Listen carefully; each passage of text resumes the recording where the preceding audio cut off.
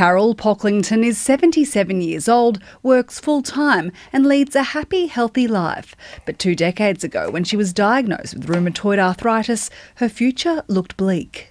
My knees gave out when um, I was on holiday, and within a matter of weeks, I was in a wheelchair. Her husband John became her full time carer, but then she joined a trial for a new arthritis drug, which she says turned her life around. That's really what saved me.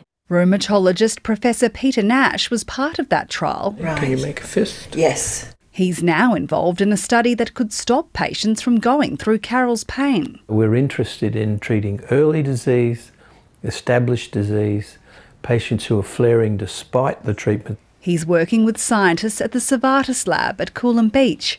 They're diving deep into the gut microbiome, home to trillions of microbes, some helpful, some harmful. The microbiome is really the next uh, evolution in medicine. They're examining whether introducing live beneficial bacteria can treat or even prevent the autoimmune disease. Bacteria that normally live in you anyway, or you may eat in, in food. Animal trials delivered promising results. We've seen very little side effects in any of the trials we've, we've done. The human trial has begun with seven participants so far, but the team is in need of more patients to take part with the hope of bringing the product to market within the next five years. Well, I think it's exciting because we, it'll help us understand cause. And we'll never get to a cure unless we know cause. Giving people like Carol cause for hope. Jessica Ross, ABC News, Sunshine Coast.